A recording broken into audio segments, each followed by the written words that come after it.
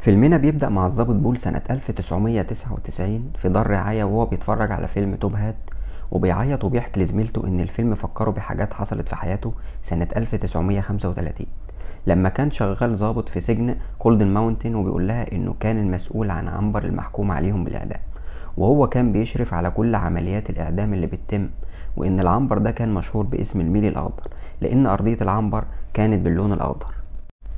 وبترجع الأحداث لسنة 1935 والظابط بول لسه شاب ومعاه المساعدين بتوعه دين وهاري والظابط بيرسي اللي بيتصف بالعنف مع المساجين. وكانوا بيستقبلوا أضخم سجين وهو جون كوفي وبيدخلوه الزنزانة وبيرجع بول مكتبه يقرأ ملف جون واللي كان مكتوب فيه إن في يوم بتختفي الطفلتين كيتي وكورا من البيت وأبوهم كلاوس بيدور عليهم وبيلاقي آثار دم على عتبة البيت. فبيتصل بالشرطة وبيبدأوا يبحثوا عنهم مع كل أهل المدينة. لحد ما بيتفاجئوا بالطفلتين ميتين على رجل جون كوفي وهو بيعيط وبيقول إنه ما قدرش يساعدهم وبيتم القبض عليه بتهمة اغتصاب وقتل الطفلتين. وبيقدم بول تقرير عن المساجين لهال مورس رئيسه في السجن اللي بيكون تعبان بسبب إن مراته ميليندا بتعاني من نوبات صرع شديد. وبيوصيه على الظابط التنح بيرسي لأنه قريب حاكم الولاية وإنه مش ناقص مشاكل مع الحاكم وإنه احتمال يمشي قريب بسبب إن جات له وظيفة إدارية في مستشفى خاصة بمرتب كويس. وبيسلموا خطاب إعدام مسجون عنده اسمه بيتر باك. وفي مرة وهم في المكتب بيشوفوا فار داخل السجن وبيتفرجوا عليه لحد ما بيدخل غرفة حجز انفرادي مليانة حاجات. وبيطلعوا كل الحاجات اللي في الغرفة علشان يلاقوا الفار لكنهم ما بيلاقوش حاجة. وبيظهر تاني يوم قدام بيرسي اللي بيحاول يجري وراه علشان يموته. لكن الفار بيهرب منه وبيفتح أوضة الحجز المكركبة تاني وبيطلع كل الحاجات اللي في الأوضة علشان يمسك الفار لكنه ما بيلاقوش وبيأمره الظابط بول إنه يرجع كل الحاجات مرة تانية مكانها. وبيمشي بول علشان يروح يعمل إجراءات إعدام مسجون وكان من إجراءات كرسي الإعدام إنهم بيعملوا بروفة على السجين علشان يتأكدوا إن كل الإجراءات سليمة وبيحضر بيرسي البروفة وبيعرف طريقة تشغيل الكرسي الكهربائي من الظابط فان هاي. وبيسأله ليه بنحط سفنجة مبلولة فبيقول له إنها بتوصل الكهرباء بسرعة للمخ علشان السجين يموت بسرعة من غير ما يتعذب كتير. وبعدها بيحضروا غرفة الإعدام علشان عملية إعدام مسجون اللي بتتم الساعة عشرة الصبح. وبعدها بيودعوا بيرسي بطريقة مهينة وده اللي ضايق الظابط بول. وقال له إن الوظيفة الإدارية مستنياك ما تمشي من السجن. فقال له بيرسي موافق بس تخليني أنفذ عملية إعدام بروتر وأنا أمشي. فسابه بول ورجع مكتبه.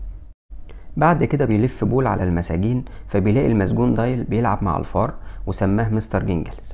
وبيستدعي رئيسه هال مورس وبيقول له إن في مسجون جديد جاي وإن مشاكله كتير وإنه مقبوض عليه في سطو مسلح وقتل ثلاثة بينهم امرأة حامل وابنها وبينصحه بالحذر منه. وبالليل وهو نايم بيجيله ألم شديد فبيخرج بسرعة من الأوضة علشان مراته ما تحسش بيه. وتاني يوم بيقول لها تحجز له عند الدكتور لأن الألم بقى شديد ومش قادر يستحمله. وبعدها بيروحوا السجن علشان يستقبل ويليام المسجون الجديد اللي بمجرد دخوله السجن بيضرب كل اللي حواليه لحد ما بروتل بيجي من وراه ويضربه على راسه ويرموه في الزنزانة. وبيروحوا كلهم علشان عندهم اجتماع لكن بول بيتأخر عنهم بسبب الألم اللي عنده. فبيشوفوا جون كوفي وبيندهله ويقول له يقرب منه وفجأة جون يشده عليه ويحط إيده مكان الألم لحد ما الألم بيختفي من جسم بول ويقول له أنا كده ساعدتك.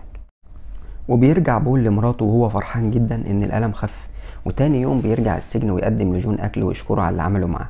وبتستمر مشاكل ويليام لحد ما بيقرروا يرموه في أوضة الحجز الانفرادي وإنهم هيأدبوه بطريقتهم وبيجي ميعاد إعدام دايل وبيدخل بول وبروتر يطمنوه إن الفار مستر جينجل هيفضل مع حد فيهم.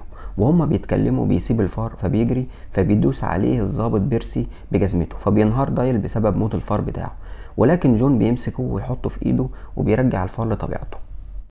وبياخدوا بيرسي الأوضة ويضربوه ويقولوا له إن دي آخر عملية إعدام ليك وبعدها تمشي من السجن تروح أي مكان تاني وبيتفقوا معاه على كده وبيكون بيرسي هو المشرف على وضع السفنجة المبلولة على رأس السجين علشان يموت بسرعة ولكنه بيخلي السفنجة ناشفة ويحطها على رأس المسجون وبتتم عملية الإعدام بأسوأ طريقة ممكنة.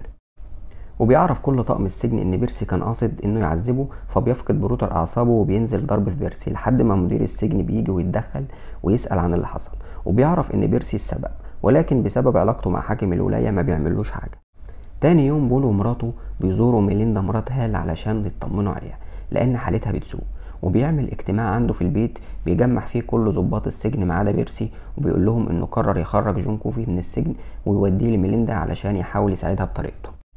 وبيبدأوا في تنفيذ الخطة بإنهم يحطوا منوم في عصير ويدوه لويليام ويكتفوا بيرسي ويحطوه في أوضة الحجز. ويخرجوا جون كوفي من السجن ويروحوا بيت هال اللي بيخرج لهم بالبندقية. فبول بيقول له إنه ممكن يساعد ميليندا مراته فبيسيبوه يطلع لها وبيقرب منها وبيقدر جون إنه يشفيها بطريقته.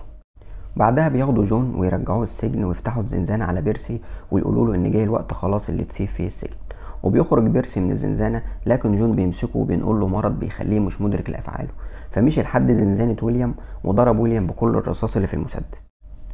فجون قال لبول إنه عاقب الاتنين ببعض. لأنه شاف اللي عمله ويليام وقال له هات إيدك أوريك. ومسك إيد بول وقدر يخليه يشوف اللي حصل. كان ويليام صاحب كلاوس والد البنتين اللي ماتوا وإن هو اللي اغتصبهم وقتلهم وإن جون كان بيحاول يشفيهم زي الفار وميليندا لكنه مقدرش وبيتم التحقيق في قتل ويليام بس بيرسي بيكون فقد عقله ويروح مستشفى الأمراض العقلية. وقتها الضابط بول اتأكد إن جون بريء وعرض عليه يهربه من السجن. لكن جون رفض وقال له إنه تعب من الوحدة ونظرة الناس ليه وإنه عايز يموت. فسأله بول لو كان ليه أي طلب يقدر يحققه له قبل ما يتم إعدامه فقال له أنا نفسي أتفرج على فيلم سينمائي. فبيشغل له فيلم توب هات ويتفرجوا عليه كلهم بعدها بيجي ميعاد إعدام جون وهو على كرسي الإعدام بيطلب منهم ما يغطوش وشه لأنه بيخاف من الضلمة وبتتم عملية الإعدام. وبتكون دي نهاية القصة اللي بيحكيها بول لصديقته في دار الرعاية وإن جون هو السبب اللي خلاه يعيش كل الفترة دي هو والفار مستر جينجل. ودي نهاية فيلمنا أتمنى يكون عجبكم.